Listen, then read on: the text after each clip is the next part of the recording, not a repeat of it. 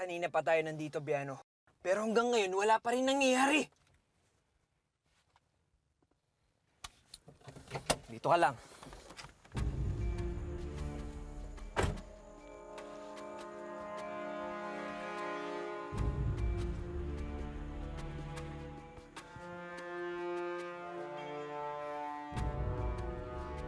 Halika rito!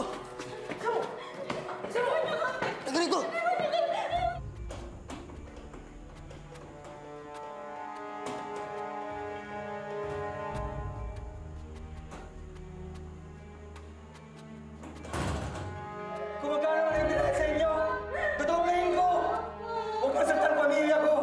Hindi to tungkol sa pera!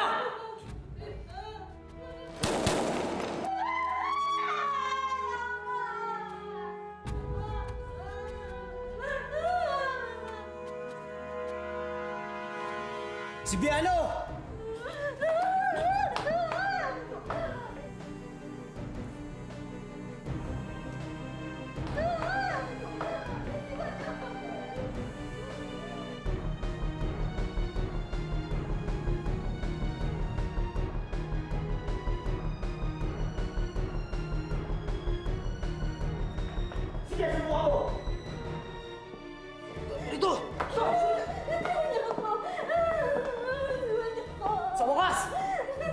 Traidor.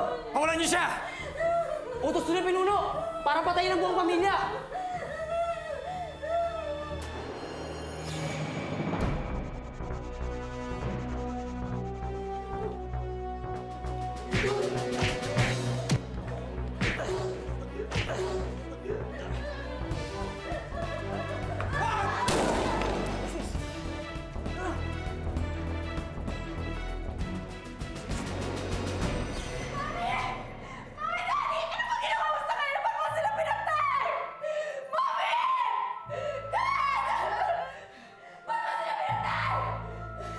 Isabel?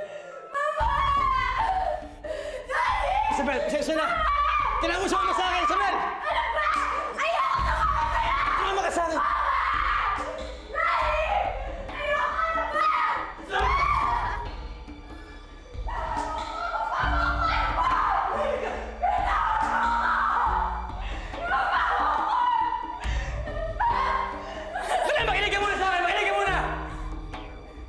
Hindi ko pitay magulang mo. Ako si Biano. Dati mong kaibigan. Piano? Ikaw ba talaga yan? Ba't mo pinatay mga magulang ko? Ano bang ginawa nila sa'yo? Isabel, sinubukas ng protektahan, hindi ko sila pinatay! Sino ka na? Ikaw ang pumatay sa kanila! Naniwala ka man o hindi, kaibigan mo pa rin ako. Ginagawa ko to para protektahan ka lang. Hindi mo ba alam kung gaano ka-importante sa akin ang pamilya ko, Biano? Ba't mo sila pinatay? Pinatay mo sila.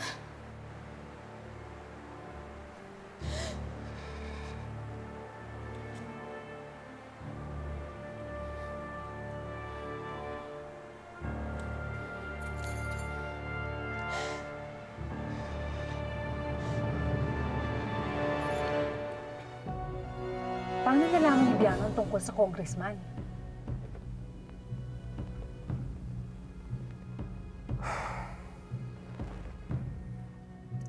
Ngayong patay na si Shugo, ibig sabihin, may iba pa siyang kinukunan ng impormasyon.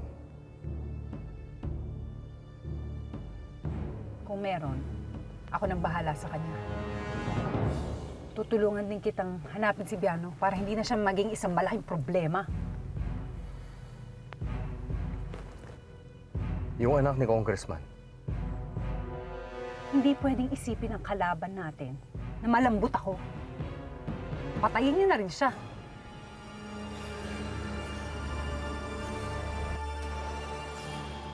Mga kaibigan, ginagawa ng aking Special Joint Task Force Unit ang lahat para hulihin ang suspect. Sa katunayan, kilala na namin siya. At siya si Biano Santiago, ang anak ni Inspector Tomas Santiago. At base sa kanyang pagpatay, Pinaniniwalaan namin na si Biano ang may kagagawa ng ibang unsolved murders nitong nakalipas na buwan. Hindi namin alam ang motibo ni Biano, pero ipinapangako ko sa inyo, katulad ng ginawa ko kay Shugo Gobrin. Hahanapin ko at huhulihin ko si Biano para humarap siya sa ustisya. Ate, si ano, si Alvaro to. Nakatakot mo? Nakakatakot siya. Delikado yung biyano. Ni mismong si Bossing, nahirapan magtago nung inahabol ng pulis. Pwede ba, pakawalan mo na si Isabel? Para kung magkahabulan man, hindi tayo mahihirapan magtago. Narinig ko ang kapatiran na buong pamilya ni Isabel ang iniutos sa patayin ni Veronica. At alam ko na hindi siya titigil hanggat hindi tutupad ang utos sa kanila. Hanggat hindi ako siguradong ligtas si Isabel, babantayan ko siya.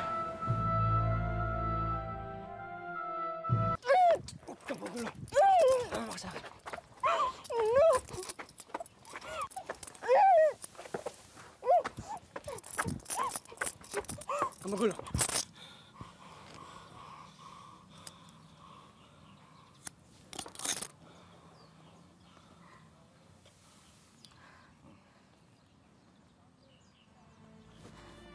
Ano bang ginagawa natin dito?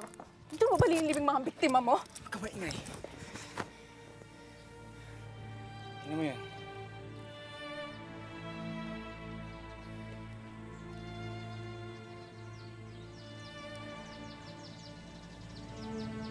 Sensya na. Hindi tayo pwedeng lumapit doon. Alam kong mahal na mahal mo sila.